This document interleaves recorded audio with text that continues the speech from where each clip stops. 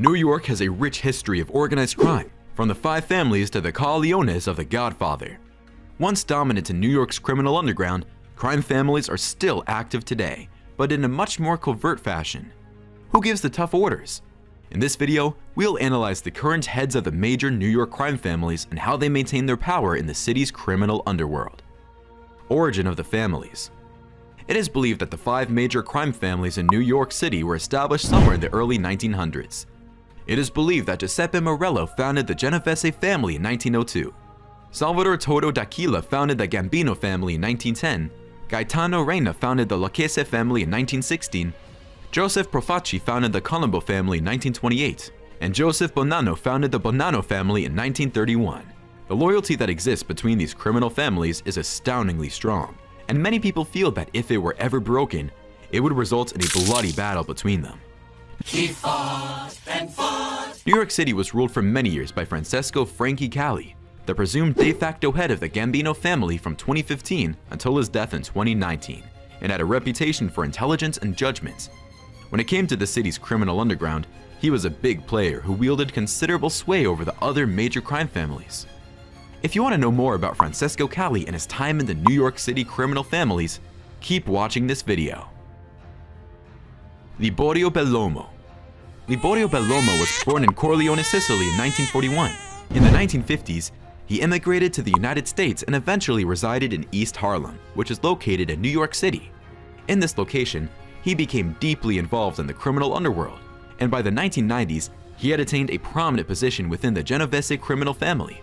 After being found guilty of racketeering in 2006 and receiving a term of 12 years in jail, he was appointed acting boss in the year 2002.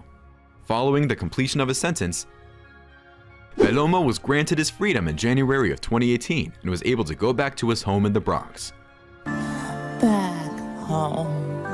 From WikiWand, on February 23, 2006, Bellomo and over 30 Genovese family members were indicted on more racketeering charges. Bellomo was specifically charged with ordering the 1998 murder of Ralph Coppola, the acting captain of Bellomo's crew and Bellomo's good friend. Bellomo is still a key figure in the Italian mafia, and he is well known both for his devotion to the organization and for the traditional values he upholds. Francesco Cali Francesco Cali was the head of the Gambino criminal family in New York City, which is recognized as one of the five most powerful Italian-American mafia groups in the city. Since 2015, Cali has been serving in an acting capacity as the boss of the Gambino family, and in 2018, he was given the title of boss permanently, on March 13, 2019, he was murdered by an unknown assailant. In 2008, Cali Gambino was one of more than two dozen members of the Gambino family who were accused with a variety of crimes. Love crime coverages like this? Subscribe to Secret Buzzer to become part of our Secret Busters. Don't forget to turn on post notifications. You turned it on? In the latter part of that year, he entered a guilty plea to the charge of conspiring to extort money from a person connected in the planned building of a NASCAR speedway on Staten Island, a proposal that was ultimately abandoned.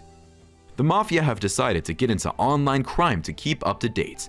They have just launched a new app called Pay Up Pal.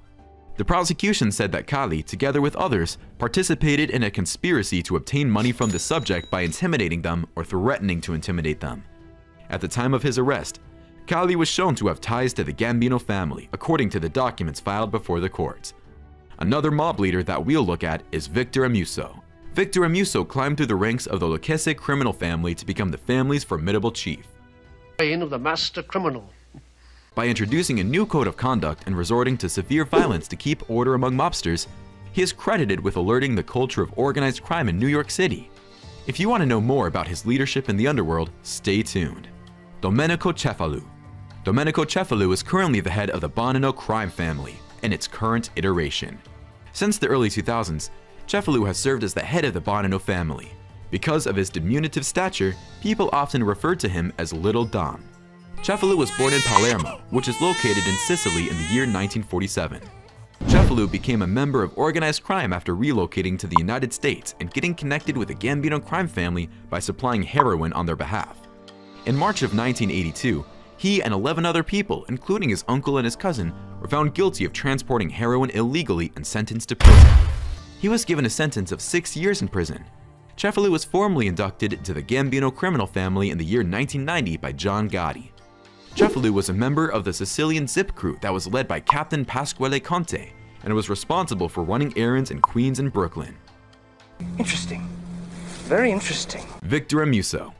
In their criminal family, Charles Rose, an assistant U.S. attorney, referred to him as the Deadly Don. Along with his former underboss and close protege Anthony Casso, who turned informer against him in 1994, Amuso's rule is regarded as one of the bloodiest times in American mafia history during the late 1980s and early 1990s.